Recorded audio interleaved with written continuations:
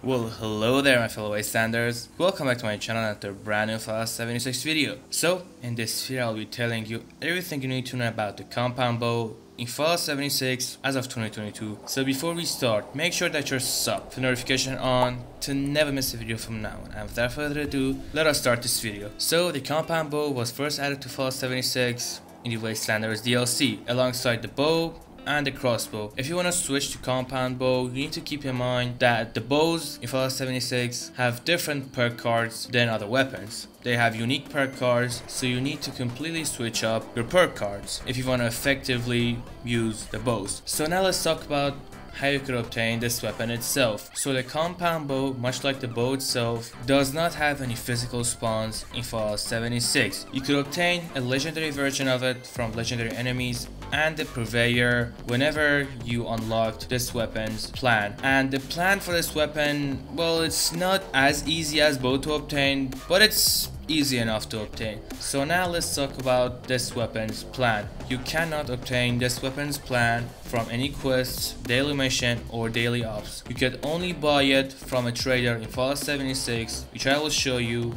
right now. But before that, just keep in mind that you cannot use the bow and the compound bow when you're in a power armor. So you need to go ahead and fast travel here to the crater and in here you want to follow where I'm going in the trader vendor's place which is this place guns guns guns. So you want to go ahead enter here and trade with her. And as you can see she has a compound bow plan for sale it's a little bit expensive but this is the only way that she could obtain the compound bow plus she sells all the compound bow mods. Again you cannot obtain the compound bow mods from any daily quest mission nothing you could only obtain them by purchasing it from her.